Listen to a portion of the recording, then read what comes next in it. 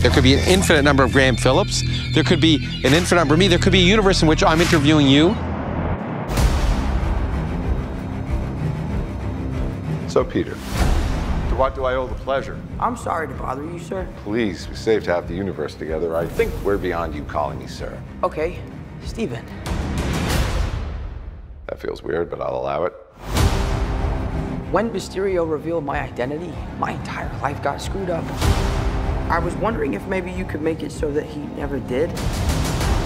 Strange. Don't cast that spell. It's too dangerous. Fine. I won't. The entire world is about to forget that Peter Parker is Spider-Man. Wait, everyone? Can't some people still know? That's not how the spell works. So MJ's gonna forget about everything we've ever been through? Stop tampering with the spell. Oh my god, Ned, he's my best friend. Oh, my Aunt May should really. Stop talking!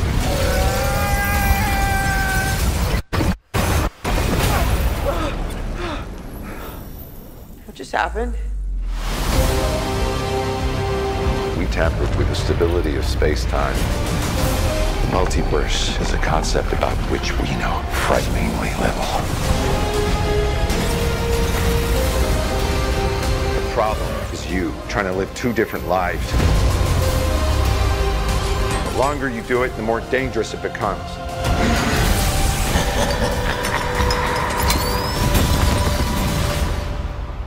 Be careful what you wish for, Parker.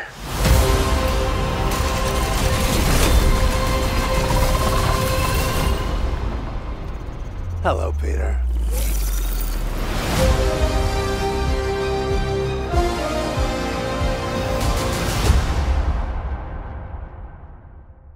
And while we're talking about the multiverse, we saw earlier that Big Bang believers try to explain away many of their problems with this idea.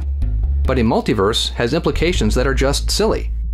For example, in a multiverse, there's an infinite number of planets out there with alien life, including an infinite number of planets full of dinosaurs which didn't go extinct like they did on Earth, but continued to evolve instead. Well, what would that imply?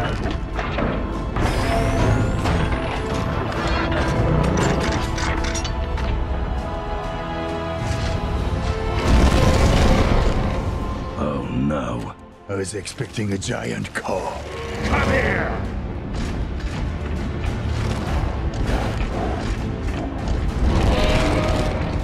We're giving you freedom! You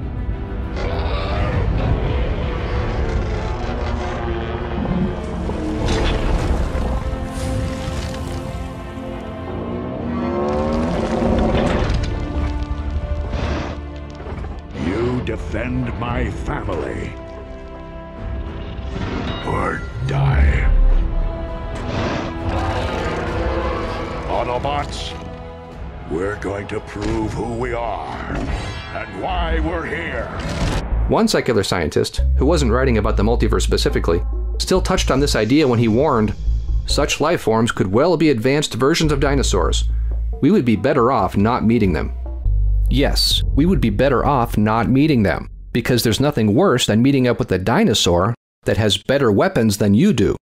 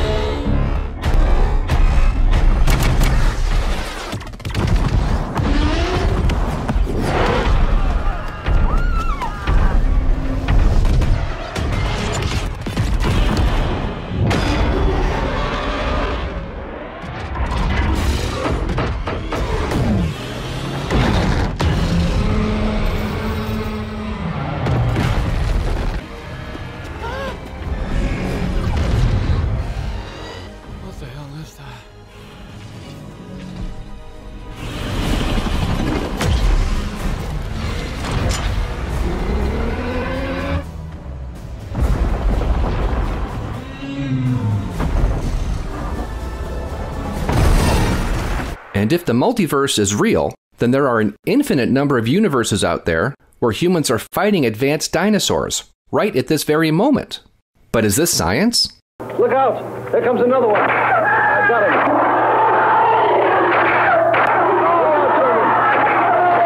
him. Or just science fiction?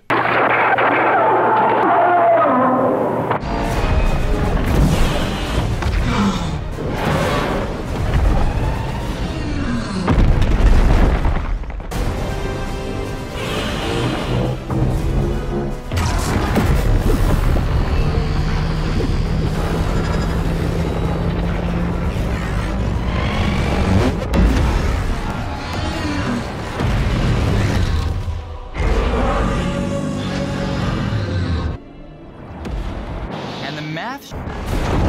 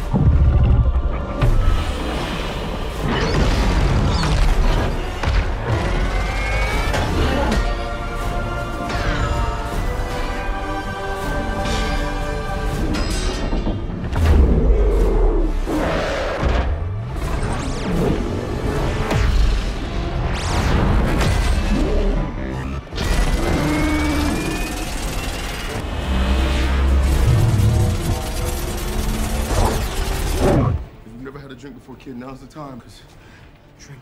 Well, drink. Hey, what are you? That's your solution. I gotta die here with you and sober.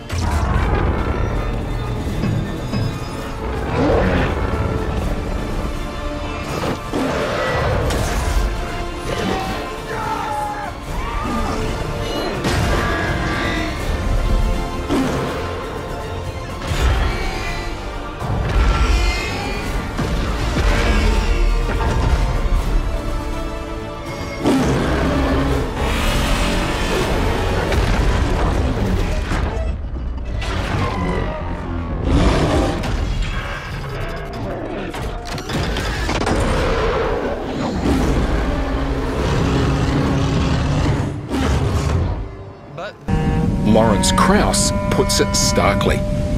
Once you get to infinity, all sorts of weird things happen. Because if if there are an infinite number of universes over an infinite amount of time, then it means that there are an infinite number of universes that seem like ours.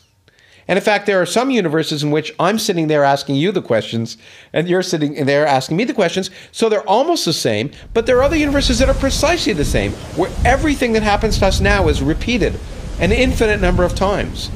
There are also universes where you and I and everything we see pop into existence by the laws of quantum mechanics one second ago.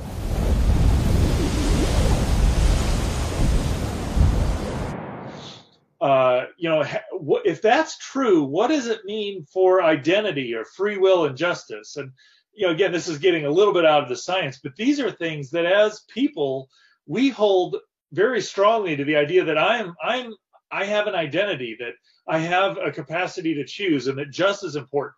These things are important to us, but in a multiverse they have no real meaning to them, or, or it's very ambiguous what they mean if they have any meaning at all. And and I think it also impacts even what does it mean to do science? Because very often when we're doing science, we're not saying this is the only possible outcome. Really, what we're saying is that this is the best explanation or the most likely explanation. Well, again, in a multiverse, if we're using the multiverse to explain how all this information got in DNA and how life arose and all of that,